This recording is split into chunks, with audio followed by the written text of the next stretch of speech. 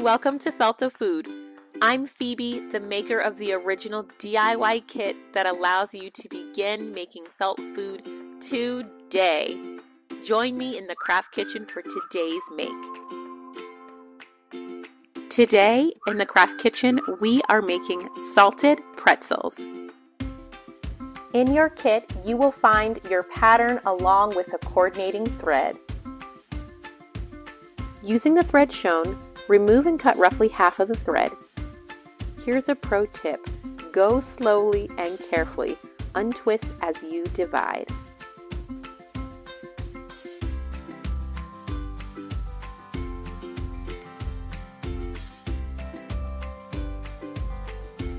Thread your needle by gently inserting the thread through the eye of the needle and pulling your thread through about halfway.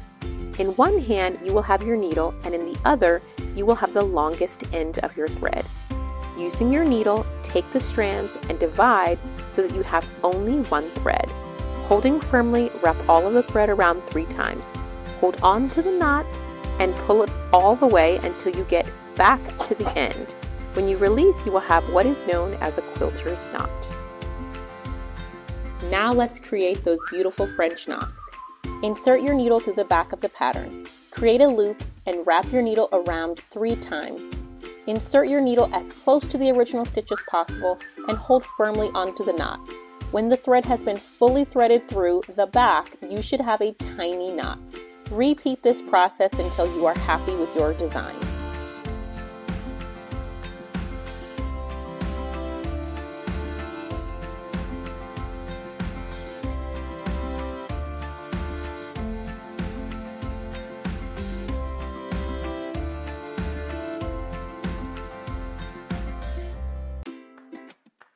To secure the thread, you will want to use your needle to pick up a small amount of felt.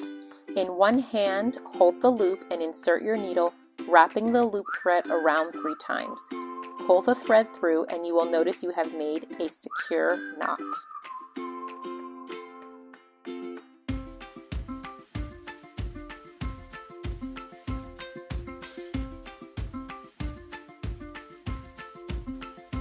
Using the thread shown, Remove and cut roughly half of the thread. Carefully divide the thread so that you have only two strands.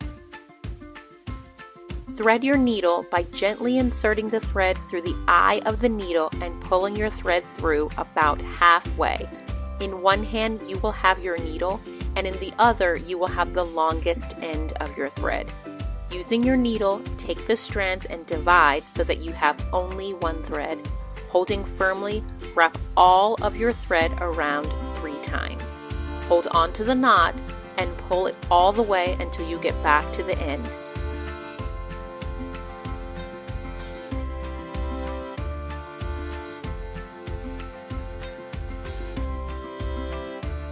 Now we're going to put these two patterns together.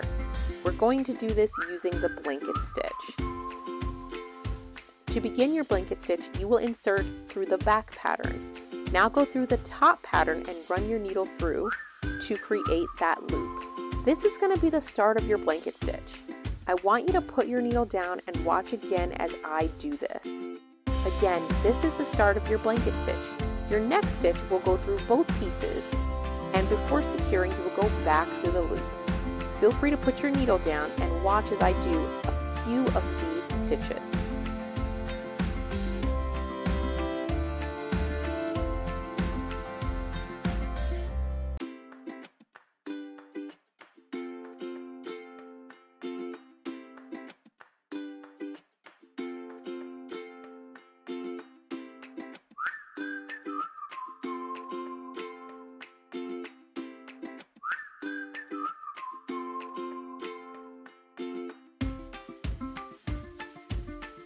I want to explain to you what I'm doing and why.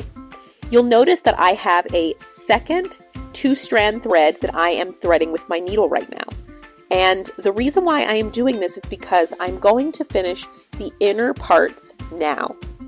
The reason why I'm doing this now, and I didn't do it at the beginning, is because as a beginner, we tend to make wider stitches and we tend to tighten. When you tighten, you're actually moving your pattern just a little bit every time you stitch. and that unfortunately will ensure that your pretzel is a little lopsided. So to make sure that it's perfect, we're going to stop at this halfway point when we're halfway around the top. We're going to stitch the inner parts of the pretzel and then we're going to slowly, slowly begin feeding in the fill.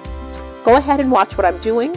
Once you're ready, pick your needle back up and let's get back to work.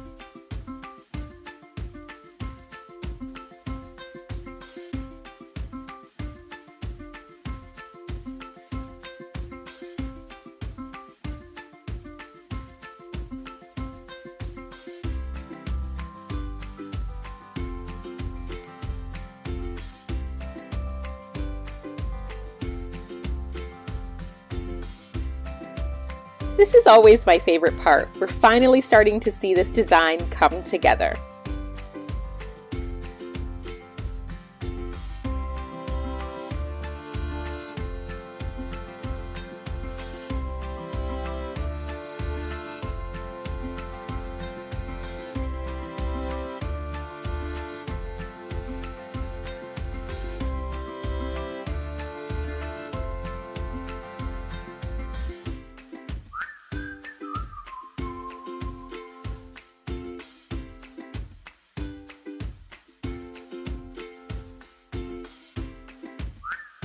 Once you are beginning to make your final stitch, you will want to go back over two or three stitches in order to secure everything.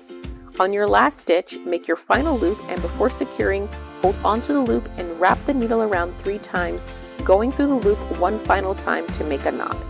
Hold the knot to ensure the knot is as close to the pattern as possible.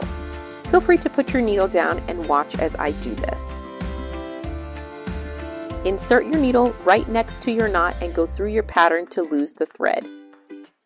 Congratulations, you have made salted pretzels. If you loved this video, please don't forget to like and subscribe. I can't wait to see what you make next.